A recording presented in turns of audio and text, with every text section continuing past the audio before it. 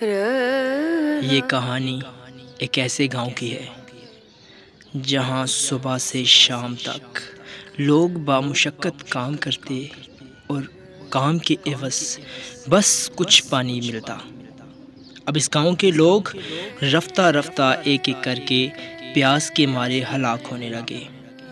यहाँ तक कि इस गाँव के जानवर, मवेशी भी हलाक होने लगे। सारा माजरा देखकर एक छोटे से बच्चे ने यह फैसला किया कि वो गाँव के लिए पानी लेकर आएगा। बाकी कहानी आप खुद देखें। राहील, तुम्हारी अम्मी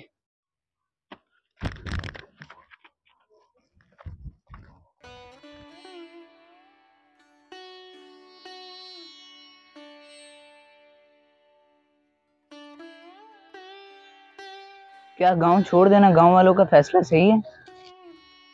गाँव वाले कहीं नहीं जाएँगे। पानी मैं ले आऊँगा। तुम कहाँ से लाओगे पानी? मैं जहाँ से मर्ज़ी लाऊं। कहाँ जा रहे हो? पानी लेने। रुक जाओ।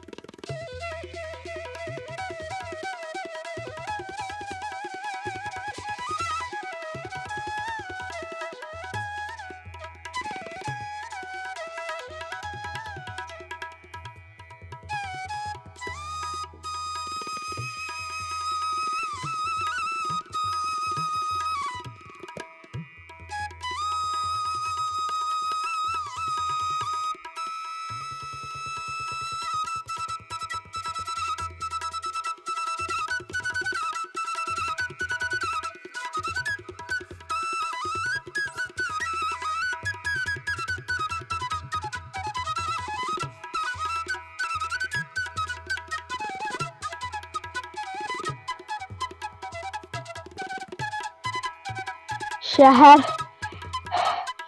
पानी।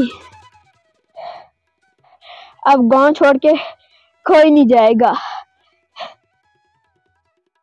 मैं पानी लेके जाऊँगा।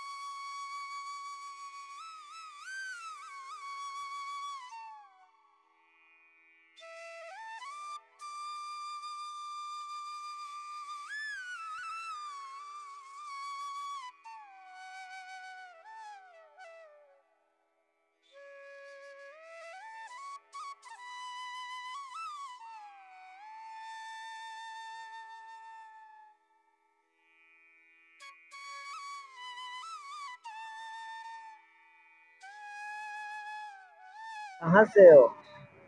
प्रतापपुर ये कहाँ है? यहाँ से बहुत दूर। ये हाल क्या बनाया हुआ तुमने? ये तो मेरे नए कपड़े नए कपड़े ऐसे होते हैं?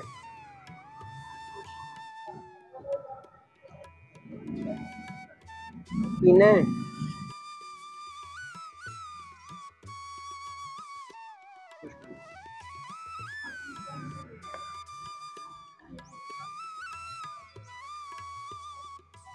बस थोड़ा सा पीना था।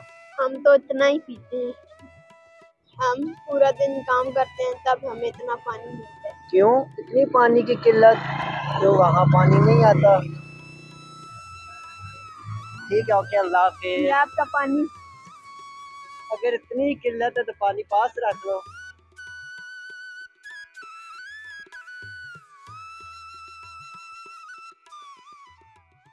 कहानी का बाकी हिस्सा देखने के लिए हमारा चैनल ए जी सब्सक्राइब करें और कमेंट में अपनी राय का इजहार ज़रूर कीजिएगा।